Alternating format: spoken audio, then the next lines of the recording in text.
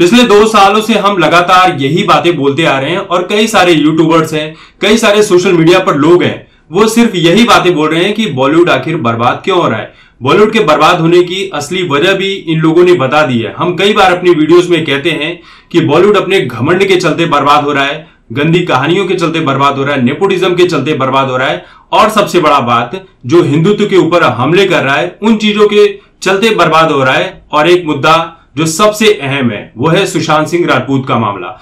इन fans को यह लगता है कि हम बॉलीवुड के बहुत बड़े दुश्मन हैं, हमें बॉलीवुड से बहुत बड़ी नफरत है। ऐसा नहीं है, हमें बॉलीवुड से नफरत नहीं है। हमें बॉलीवुड में उन लोगों से प्रॉब्लम है, जो बॉलीवुड को अपने बाप दादा की जागीर समझकर बैठे हुए हैं और जिसके साथ जैसा हो, वैसा बर्ताव करते रहते हैं।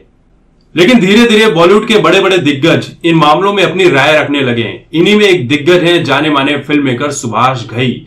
अब सुभाष गई जो बातें बोल रहे हैं, अगर उनकी बातों पर भी आपको यकीन ना हो तो भैया कहीं जाकर थोड़ा सा चुल्लू भर पानी देखकर उसमें डूब मरो।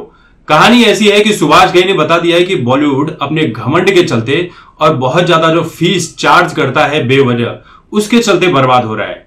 इनका यह कहना है कि आखिर लोग ये बोल रहे हैं कि साउथ की कम बजट वाली फ़िल्में बॉक्स ऑफ़िस पर बंपर कमाई कर रही हैं। 200 करोड़ 300 करोड़ की कमाई कर रही हैं और यहाँ पर 400 500 करोड़ लगाने के बाद भी ये 50 करोड़ पहुँचते पहुँचते दम तोड़ देती है। सुभाष गई ने कहा है कि बॉलीवुड की फ़िल्मों को देखकर लगता ही नहीं है कि इसे किसी डायरेक्टर ने डायरेक्ट किया है, जबकि साउथ की फ़िल्मों को देखकर लगता है कि हाँ इसे एक डायरेक्टर ने ही डायरेक्ट किया है, क्योंकि बॉलीवुड में होता क्या है, यहाँ पर जो कलाकार हैं, वो खुद को ही एक डायरेक्टर समझने लगते हैं और फ़िल्मों में बदलाव करने लगते हैं, अपने हिसाब से स्क्रिप्ट चलाने के लगते हैं, उसमें तरह तरह के चेंजेस करने लगते हैं, मनमानी करने लगते हैं शूटिंग करने के दौरान पर, लेकिन साउथ में फ़िल्मों को बहुत ही डेडिकेशन के साथ, मेहनत के साथ, ईमानदारी से कल्चरल चीज़ों को ध्यान में रखते हुए बनाया जाता है। जबकि बॉलीवुड में हम वेस्टर्न कल्चर की तरफ़ बढ़ रहे हैं। हम उन्हीं चीज़ों को अपना रहे हैं जो यहाँ के लोग अब पसंद नहीं कर रहे हैं। आजकल के एक्टर्स बहुत तगड़ी फ़ीस मांग रहे हैं। ऐसा लगता है कि डायरेक्टर और प्रोड्यूसर इन एक्टर से ये कहते हैं कि आप कितनी फ़ीस लेंगे।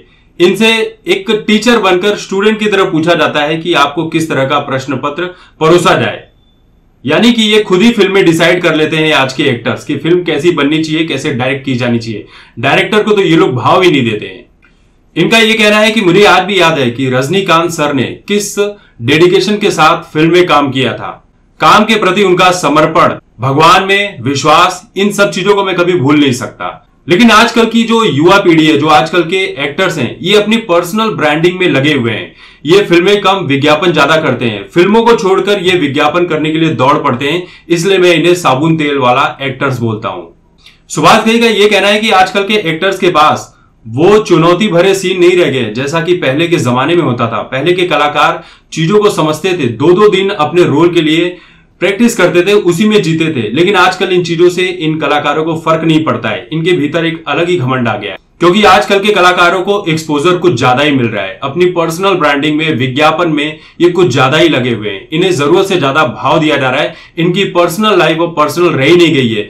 पर्सनल लाइफ और फैंस के बीच और मीडिया के बीच इन्होंने दूरी को पूरी तरह से खत्म कर दिया है।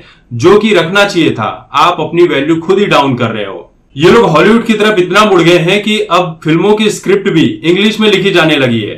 ये लोग भगवान और कल्चर की बात करते हैं, लेकिन उन चीज़ों को अपनी फ़िल्मों में सही तरीके से दिखा नहीं पा रहे हैं। आपको ये समझना होगा कि जब आप इंडिया की ऑडियंस के लिए फ़िल्में बना रहे हो तो आपको उसी तरह से सोचना चाहिए और उसी तरह की फ़िल्म बनानी चाहिए। ये नहीं कि आप फ़िल्में तो इंडियन ऑडियंस के लिए बना रहे हो, लेकिन आपकी फ़िल्में बन रही हैं फॉरेन कंट्री के ऑडियंस के लिए।